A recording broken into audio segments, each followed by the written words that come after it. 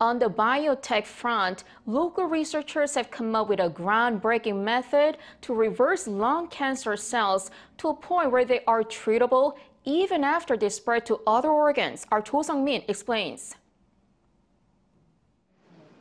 Lung cancer was the number one cause of death among all cancer patients in South Korea in 2021, according to a government report. If detected early, lung cancer can be fully cured. But the survival rate plummets to 9% once the cancer spreads to other organs. To increase the survival rate, a South Korean research team has developed new technology that potentially enhances how the disease is treated. It's based on reversing cancerous cells into a condition where they can be treated.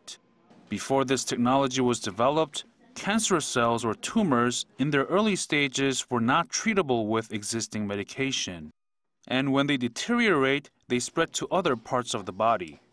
The scientists used computer simulations to analyze lung cancer genes and discovered three key genes that can be reverted back to the non-spreading phase, which makes them treatable.